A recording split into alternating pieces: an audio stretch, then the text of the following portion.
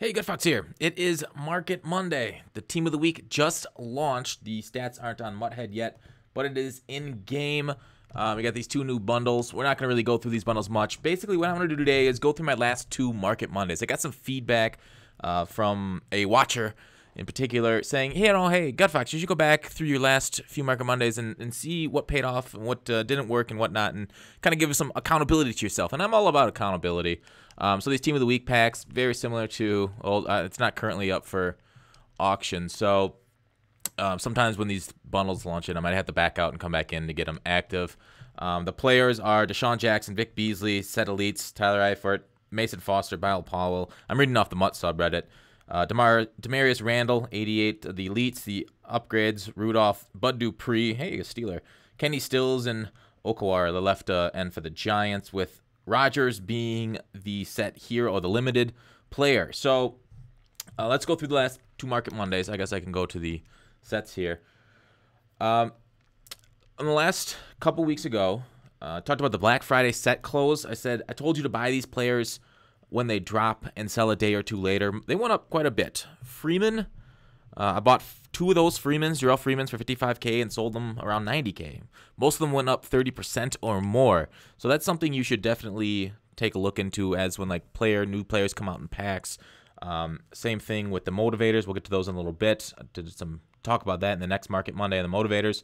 Uh, man of the month, I said to buy silver Packers and Steelers at 550 coins each.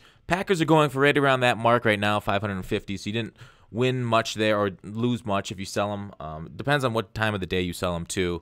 Uh, for what price you can get it much more than 550 for them. And then the Steelers are going for 1900 coins right now. So um, the Steelers you won big, the Packers you broke even on. For the golds, I said the Bengals and Lions who were selling about 950 each and they're both going for around that price right now, both around 1,000 coins. But that's right now. I was selling every gold for minimum of 1,500 to 1,700 as the set dropped, with some going for much more 2,000, 3,000. Browns up near 5,000, 6,000.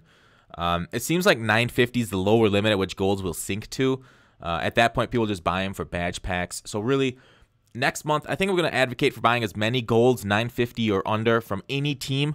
Give it the shotgun approach. I think it's best because we don't know who EA is going to give that great team hero to. You know, the Browns, Cowboys, those kind of things this past month with the wide receiver and the left guard Leary. So um, that's kind of the approach we want to take going forward with Man of the Month. Um, I'll take a look at Eifert here. So I said next, you could sell your team. These going for quite a bit. We'll go with the high one. Nobody's going to buy this. 84 speed, Run block 80. Okay, eh, whatever. Pretty well balanced. Six six. Well, what's his jumping actually? So I'm getting a little distracted here by the team of the week players who I said I wasn't going to go. 92. This is actually a good, pretty good card for high passes. Six six. I like this card a lot. Uh, what's just catching traffic was a little higher though. All right, I said you could sell your team before Christmas and buy it back. That one is still to be determined. But I was on the fence about doing it myself since I won't be able to stream with the team uh, this upcoming week. But I don't have a computer anyway to stream with. I got to go through the crappy Xbox system. Um, but since about this accountability thing came up, I will sell my team and buy it back, checking how many coins it gets for each player. A lot of the guys are listed right now. You can sell um, my Donald, but let's go to the sold. Brady, Casey, Williams, that one expired. Mac, Tomlinson. I sold all these guys. I'm selling them. I'm in the process of selling it. Um, I might be cutting it a little close to Christmas promo, especially if it comes out tomorrow. But like when you do sellouts, do strategic sellouts. Don't just list everything for the lowest buy it now possible. Make sure you're gonna get some profit. Make sure the price isn't already depressed from that. So like if I don't I'm not able to sell them all off, I'm not going to sell them all off, of course. If I, I see the Christmas promos coming, I'm like, all right, this is probably the bottom.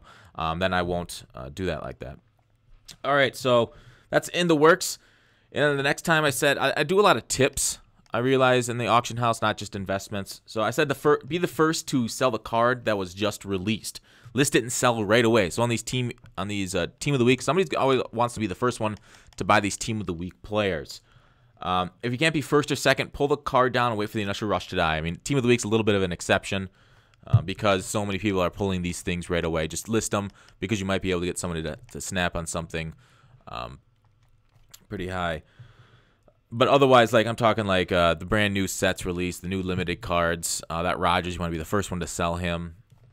And then uh, this happened in a major way with the motivator packs. See, these Randalls are kind of dipping down 39k. This might be actually what he ends up settling for. So you might want to wait a little bit, and you might be able to get it back up near 48k. So yeah, 38k just got bought. Randall, oh, 92 speed, not bad. Uh, he's got a not the greatest of chems.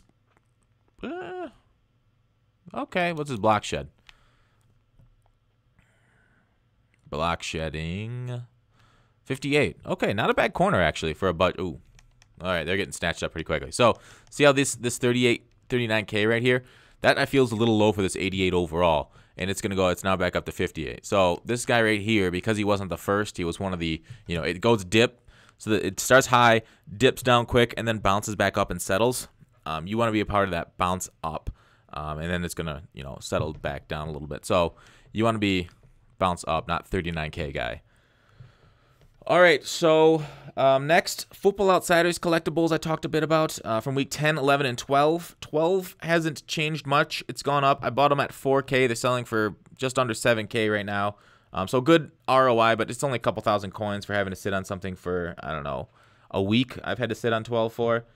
Um, but the 10, 10 11, I ran out of 11 and sold all those for minimum 5,000 coins a pop profit.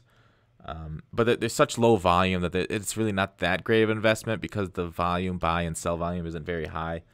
Um, and your profit margin can be 0% if you sell at the wrong time. So make sure in time your sells on those because the turnover is so slow. I, I only love a limited investment in Football Outsider. That's not going to be it's not going to be a great uh, investment for you to make riches, but just a couple extra spending coins.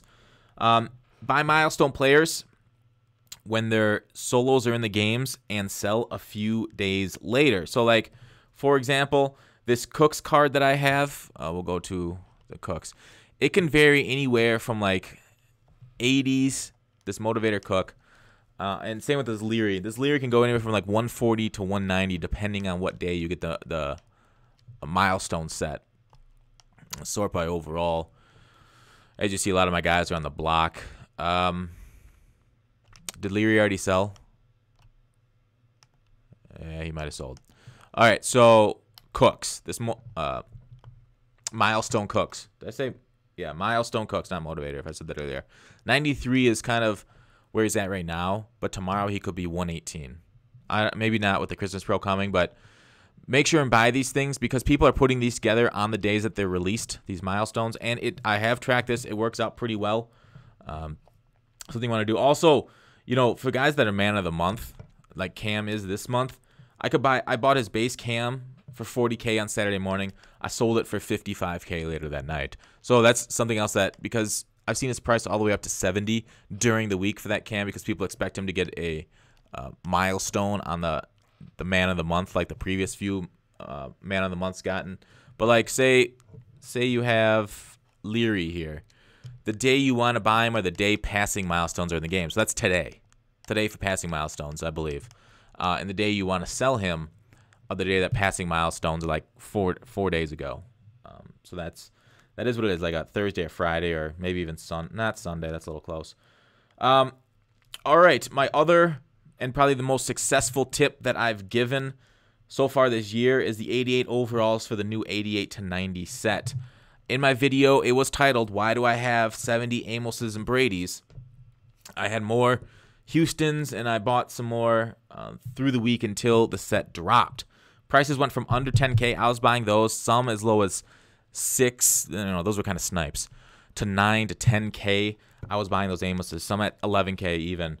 So Amoses and Brady and Houston's all were going like 9 to 10K. I was buying a whole bunch of them. I was ended up selling them for 21 to 22k. They're all out of my binder now because they all sold pretty quick. Um, so if you had 10 of them, you made a hundred thousand coin profit, which was uh, pretty nice for you. I made a little bit more than that, uh, but then again, that was um, one of those you know gangbuster profits. We'll see if that works out again. 89 to 90s in January. We'll see if any 89 really dips down to that 10,000 coin price level as we get this Christmas promo and other guys released through these sets. Any other? Do they release any? Let me see if they released any 89 overalls on Team of the Week. Those are those are good to have. 80. Yeah, they released one, two. Okay, but these guys are Foster might get low, but they're Team of the Week. Where are limited cards? Highest in the set. Yeah, I don't really see him getting down to a level where we can say he's only going for 10 coin, 10,000 coins or something. So we'll keep an eye on that for next month. Um, it's good to keep hold on to your 89s if they're in the 10 to 20k range. Uh, but going through the rest of my market Mondays, I did realize how many of them are just tips on the auction house versus investing opportunities. I hope to mix that in well, uh, both that thing going reviewing through the past couple. Um, basically telling you guys, hey, this is what you should be out looking out for, sniping and other things to be aware of on the auction house. It looks like we had a pretty successful couple of weeks. These last two on the market Monday, you if you watched those two and invested as I said, we just made a ton of coins together. Uh, but we'll see with the Christmas crash though how much that affects the market and our coin stack if I can buy them back or if that was just a bust to sell those guys at those price. I mean, the thing that really convinced me to sell the things besides for being challenged on accountability is when I look at these guys overalls, they're low 90s overall. I mean, put it in perspective. These guys are low 90s. In two months' time, we're gonna have 99s infiltrating this game, and well, assumably, but like I mean, these things are going for 100,000 coins. This is like 160 to 190,000. This one's five. This Vernon, yeah, his block shed boost is so nice for the rest of the squad. It's going for over 500,000 coins. 93, 300,000 coins. It just seems, and these are le- legends that get released every weekend. This guy's going for 1.6 million or so for 93 overall. So that's he he actually I mean he plays like a glitch, but 93 overall it will get ner- it will get uh, I don't know. We don't we don't get too many defensive tackles, but that's what really convinced me is just seeing the overalls and be like, well, let's put it in perspective here. So that's it. Thanks for watching. Call to action. I will see you tomorrow.